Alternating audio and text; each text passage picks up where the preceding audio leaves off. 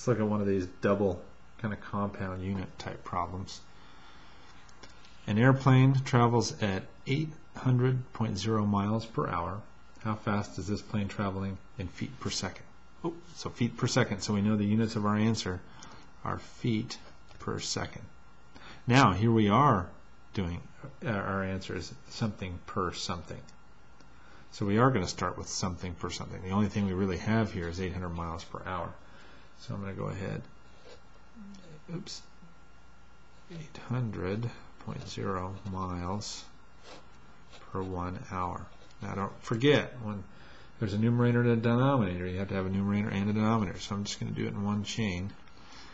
I'll start on the top, miles to feet. Oh, I can do that. One mile is 5,280 feet. Bingo. If I were to stop now, units of my answer would be feet per hour. But I don't want feet per hour, feet per second. So I, I got the numerator taken care of, so now I have to work on the denominator. I convert hours to seconds. One hour is 60 minutes.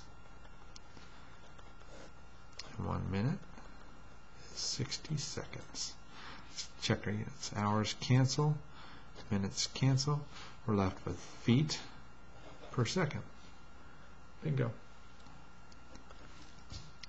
So let's plug and chug. Let's see.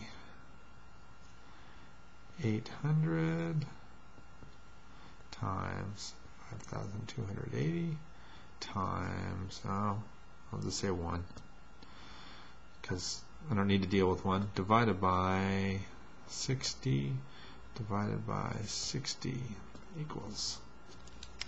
So I have 1173.33. So we're good to what, 4 sig figs here? Yeah, so 4 sig figs. So 1173 feet per second. There we go.